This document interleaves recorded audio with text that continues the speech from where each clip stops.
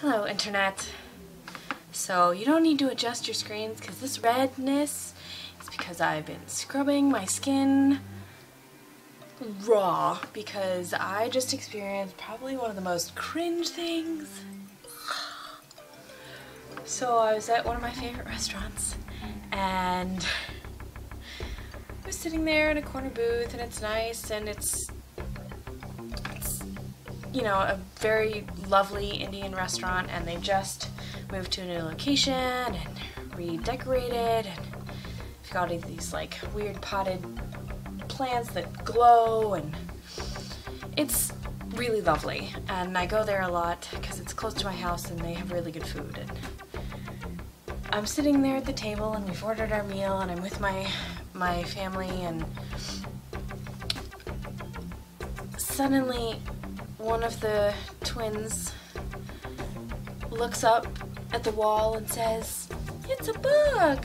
And I turn around, there's this cockroach on the wall behind me. It's about a foot and a half away from my head. And then I notice that there's another one, like down below on the on the back of the booth that I'm sitting in. And so there are two that I can see, and then suddenly I see another one skittering across towards me on the booth. And so I I don't necessarily like being in close proximity to bugs, but I don't mind them like in general. I have a phobia of spiders, but I'm getting over that. Somewhat.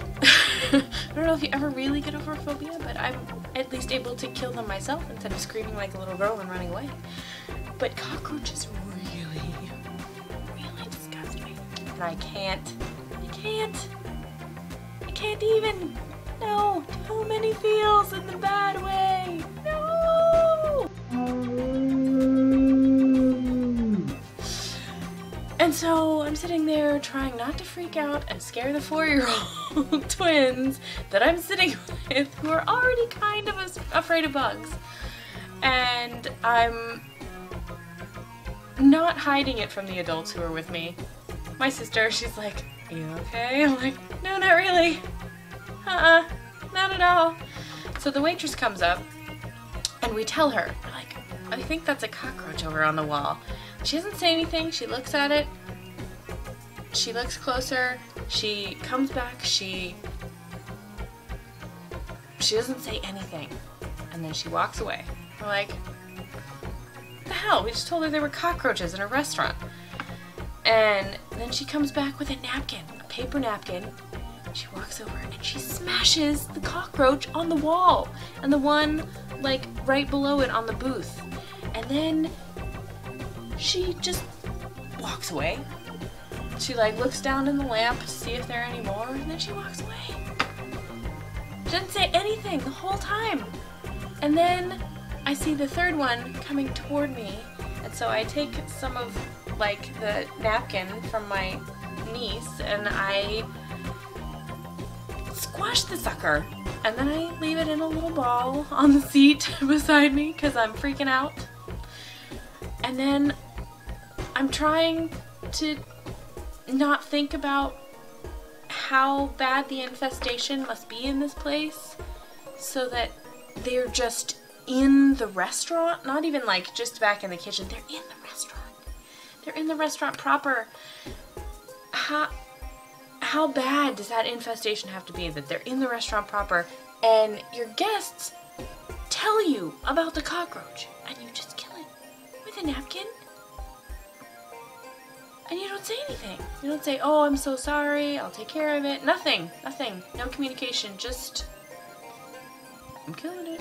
And then, of course, we had to explain to the four-year-old why she killed the bug. Oh my god.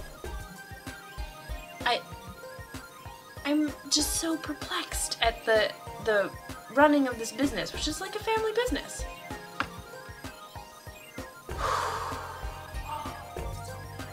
so anyway, our food comes and I'm like picking through everything, trying not to think, are there cockroaches in my food?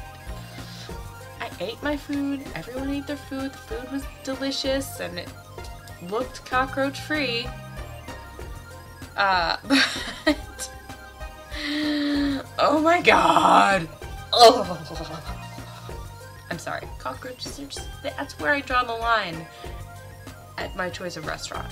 If you have a cockroach, I'm sorry. I'm not coming back. No matter how good your food is. Oh. So that was my night. So as soon as I got home, I scrubbed like I was in Gattaca. And threw my clothes into the washing machine, everything I was wearing, just into the washing machine because, you know, I know that there's no way that I could possibly, like, not know if a cockroach was crawling on me. But there's that little seed that's like, oh my god, they're gonna get everywhere. And no, no, just no. World of no. Epic fail on the on the part of the restaurant. Epic fail. Epic fail.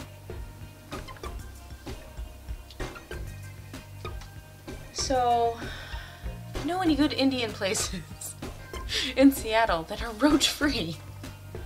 Let me know, because I'm uh, never going back.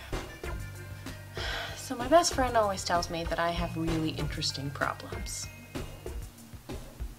And I don't know if she's right, but I do seem to have a lot of really weird things and unfortunate things happen to me or around me or toward me. It's just, it's, it's strange. Uh, so I'm chalking it up to the fact that I'm a little strange and I attract the strange. That's, that's my, uh, that's my take on it. So, if you likewise attract the strange, unusual, unfortunate, clumsy mess that uh, encompasses my life, uh, you know, leave me a comment down below so that we can commiserate. Because uh, I can't be the only one who attracts really weird things that happen to them. Because if I am, then I should get a movie deal or something. Just have people follow me around, documentary style, all the time. Gotta capitalize on this in some way if I'm the only one. But I don't think that I am. I think that there are more of you out there, so let me know. We'll commiserate. And if you like my video, please subscribe or give me a big thumbs up below and I'll make more of this kind of vlog in the, in the future. See you soon.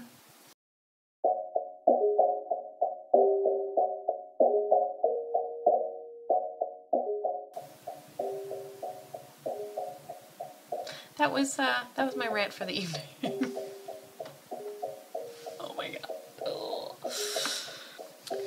And so now I'm just itchy all over at the idea that I'm like covered in cockroaches. But I'm not.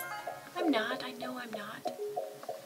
But I can't tell that to my skin because it's crawling all over the place. And I just can't get it to stop. No, it's not gonna stop.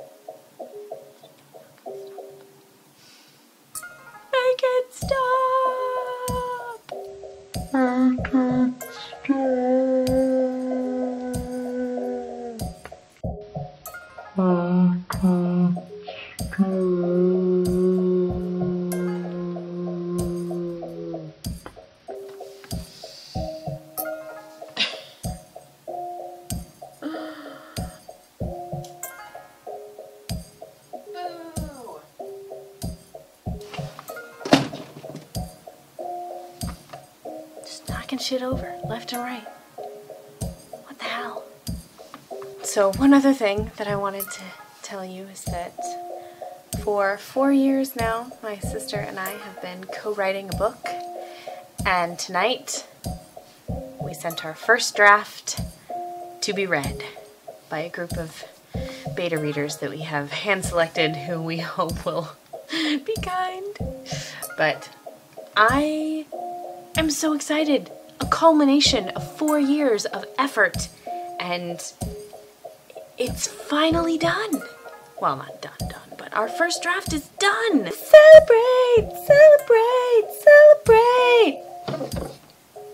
So, if you ever think that you can't do it, you can't write a book, you can't do anything because you don't have the time, it took me four years. Four years with someone else working with me to write a book. But it's done, and I feel accomplished, and working on the book still feels really good, so if you don't think you can do it, just look, I did it. Anyone can do it.